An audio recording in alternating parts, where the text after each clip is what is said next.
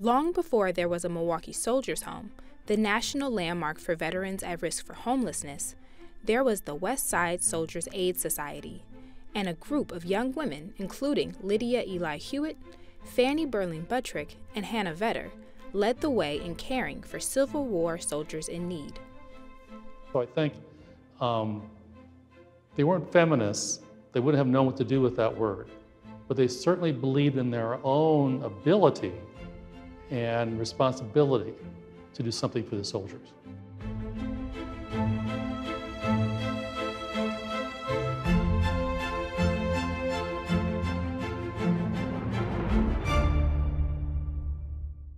In the early stages of the Civil War, Milwaukee women began to organize. On October 19, 1861, a meeting was called here, in the basement of Summerfield Methodist Church, to launch the Milwaukee Ladies Association for the Aid of Military Hospitals. As time went on, different volunteer groups started forming. As one historian at the time said, the most important auxiliary society in the city was the West Side Soldiers Aid Society, organized December 15, 1862. Its members included Lydia Ely Hewitt, Fanny Burling Buttrick, Hannah Pierce Vedder, and Martha Reed Mitchell. Hi, I'm Jim Peck. Welcome to I Remember. Joining me tonight is Patricia Lynch. In 2003, she co founded the West Side Soldiers Aid Society. It was a rebirth of a Milwaukee women's organization formed during the Civil War to provide care for veterans.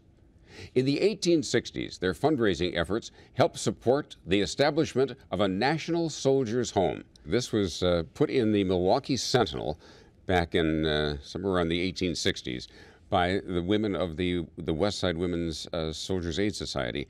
And it goes as follows When the contest for right is over, and the thousands of sturdy sons of Wisconsin return from the havoc of battle, maimed, crippled, and helpless for life, a home of magnificent proportions, for which we have not marble white enough, must be built. This temporary resting place may prove the cornerstone of a permanent home for our battle scarred heroes for all time to come. The women were creating a temporary home. Uh, it's on uh, Plankinton. That mm. was West Water Street uh, between Wisconsin and uh, Wells. They started with one storefront at 207 West Water and eventually uh, rented four or five more. And what did they do there? Uh, they had beautiful living quarters. so they were caring for the sick, feeding the men as they passed through, giving vocational counseling and vocational assistance, bailing the men out of jail. Where'd they get the money to do this? Uh, they were prominent young women of Milwaukee. Uh, and, um, or for example, Alexander Mitchell uh, was one of their supporters. And they just threw. Was his wife involved in this? She was. Mm-hmm. She was involved in almost every philanthropic effort in Milwaukee. Mm-hmm. In certain ways, they're doing what they know. But having said that, I think the kind of effort that led to this soldier's home is a, a, an example of women certainly transcending limitations, exerting some power isn't quite the word for agency, we might call it, uh, onto society, and really, really shaping the way this home took, took um, uh, became a reality. Our reenactors portraying Lydia and Fanny are back to explain why they got involved with the contemporary West Side Soldiers Aid Society. My name is Terry Arliskus, and I'm here with Deborah Keinert to talk about the resurrected West Side Soldiers Aid Society. The uh, society was reformed in 2003 by Patricia Lynch, who lived in uh, Greenfield, Wisconsin. And I, Deborah Keinert, had worked um, in the Civil War reenactments as a Civil War nurse and I worked in close conjunction with the West Side Soldiers Aid Society. In 2005, we got hooked up with a uh, company of Marines that were stationed in a very remote part of Afghanistan and actually fed them for nine months. Marine Terrence Patrick McGowan received some of those care packages, and he wrote about it in his book, The Silence of War.